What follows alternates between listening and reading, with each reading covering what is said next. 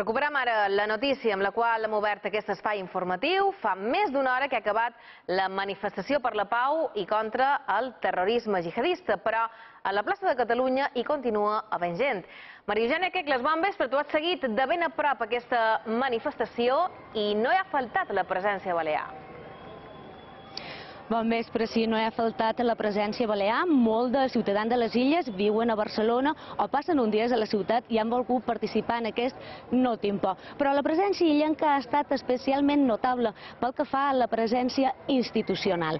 Minuts abans de començar la manifestació, representant de totes les institucions de cada una de les illes i de cada un dels partits polítics que hi ha a les Balears s'han oblidat del colors i s'han reunit a la Rambla i s'han fet aquesta foto històrica que veus en aquest aquests moments. La presidenta Francina Armengol ha estat qui ha encapçalat l'ofrena floral envoltada per diputats, baldes i consellers.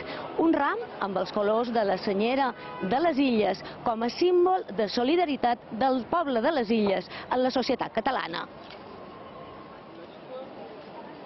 El poble de les Illes Balears de voler ser aquí, eh, representant en les seves institucions, en totes les formacions polítiques que avui som aquí també per dir que nosaltres estem en defensa de la pau, de la llibertat, de la convivència i volíem expressar avui en aquesta magnífica manifestació que serà el missatge clar contra el terrorisme. Imaginem, Maria Eugènia, que s'han viscut al centre de Barcelona moments de molta emoció. Sí, molts i intensos, sobretot a les Rambles. A les Rambles molta gent s'ha emocionat i li han caigut les llàgrimes quan han vist que policies locals de Cambrils, l'altra localitat afectada pel terrorisme, s'han han vengut fins aquí a les Rambles a fer una ofrena floral i han fet un passadís d'aplaudiments. La mateixa emoció s'ha viscut quan, moments abans, un bomber anònim s'ha acostat fins al mur de Miró quan la gent s'ha assabentat del que estava fent, que era posar unes botes de bomber allà, s'han emocionat i l'han començat a aplaudir.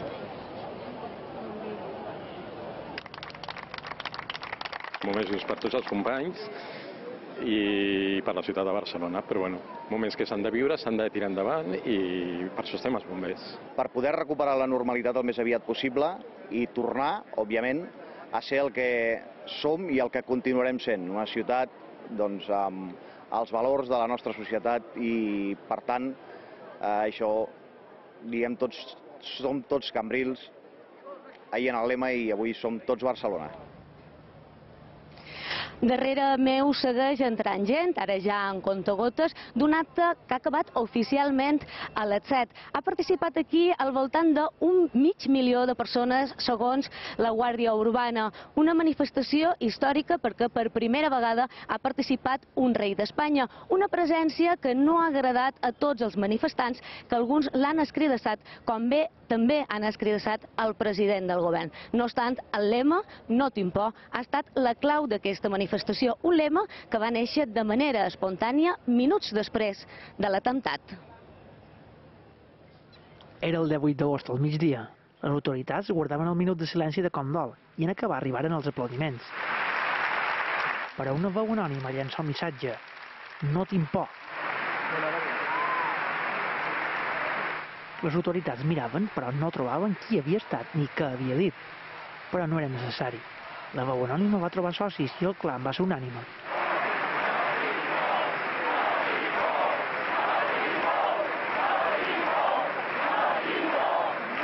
Tot d'una es va convertir en un símbol d'unitat i valentia i va fer la volta al món.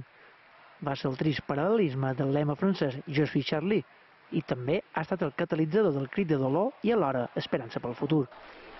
És el clam que s'ha fet servir des d'aleshores a totes les manifestacions i homenatges, des de les que protagonitzaven els taxistes als que feia la comunitat musulmana a Catalunya.